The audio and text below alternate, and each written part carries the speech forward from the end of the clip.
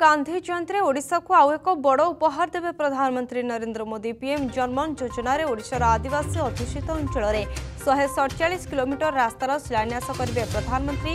ଦେଓଗଡ଼ ଗଜପତି ମୋହନା ରାୟଗଡ଼ା ବାଲିଗୁଡ଼ା ମାଲକାନଗିରି ଗୁଣପୁର ସୁନ୍ଦରଗଡ଼ର ବିଭିନ୍ନ ଆଦିବାସୀ ଅଞ୍ଚଳରେ ଗମନାଗମନ ସୁବିଧା ପାଇଁ ନିର୍ମାଣ ହେବ ରାସ୍ତା।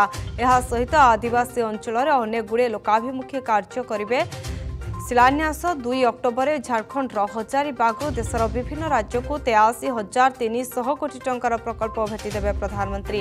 ଜନଜାତି ବିକାଶ ପାଇଁ ପ୍ରଧାନମନ୍ତ୍ରୀ ଧରତୀ ଆବାଜ ଜନଜାତୀୟ ଗ୍ରାମ ଉତ୍କର୍ଷ ଅଭିଯାନ କାର୍ଯ୍ୟକ୍ରମର ଶୁଭାରମ୍ଭ ହେବ। ସବୁ ରାଜ୍ୟର ପାଞ୍ଚଶହ ଅଣଚାଶ ଜିଲ୍ଲା ଓ ଦୁଇ ହଜାର ସାତଶହ ଚାଳିଶ ବ୍ଲକରେ ବସବାସ କରୁଥିବା ତେଷଠି ହଜାର ଗାଁର ପାଞ୍ଚ କୋଟି ଆଦିବାସୀଙ୍କ ବିକାଶ ପାଇଁ କାର୍ଯ୍ୟ କରିବ ଏହି ଯୋଜନା।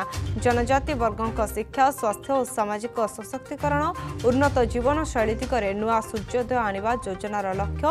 ଏଥିପାଇଁ କେନ୍ଦ୍ର ସରକାରଙ୍କ ପଚିଶଟି ମନ୍ତ୍ରଣାଳୟ ମିଳିତ ଭାବରେ କାର୍ଯ୍ୟ କରିବେ।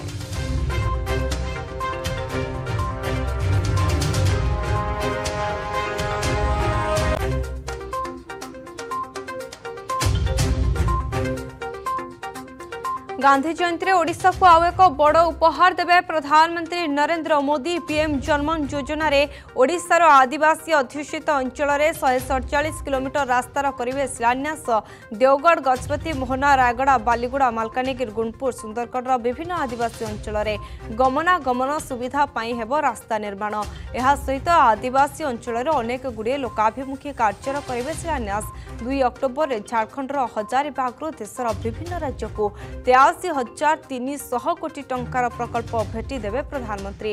ଜନଜାତି ବିକାଶ ପାଇଁ ପ୍ରଧାନମନ୍ତ୍ରୀ ଧରତୀ ଆବାଜ ଜନଜାତୀୟ ଗ୍ରାମ ଉତ୍କର୍ଷ ଅଭିଯାନ କାର୍ଯ୍ୟକ୍ରମର ହେବ ଶୁଭାରମ୍ଭ। ସବୁ ରାଜ୍ୟର ପାଞ୍ଚଶହ ଅଣଚାଶ ଜିଲ୍ଲା ଦୁଇ ହଜାର ସାତଶହ ଚାଳିଶ ବ୍ଲକରେ ବସବାସ କରୁଥିବା ତେଷଠି ହଜାର ଗାଁର ପାଞ୍ଚ କୋଟି ଆଦିବାସୀଙ୍କ ବିକାଶ ପାଇଁ କାର୍ଯ୍ୟ କରିବ ଏହି ଯୋଜନା। ଜନଜାତି ବର୍ଗଙ୍କ ଶିକ୍ଷା ସ୍ୱାସ୍ଥ୍ୟ ସାମାଜିକ ସଶକ୍ତିକରଣ ଉନ୍ନତ ଜୀବନଶୈଳୀ ଦିଗରେ ନୂଆ ସୂର୍ଯ୍ୟୋଦୟ ଆଣିବା ଯୋଜନାର ଲକ୍ଷ୍ୟ। ଏଥିପାଇଁ କେନ୍ଦ୍ର ସରକାରଙ୍କ ପଚିଶଟି ମନ୍ତ୍ରଣାଳୟ ମିଳିତ ଭାବରେ କାର୍ଯ୍ୟ କରିବେ।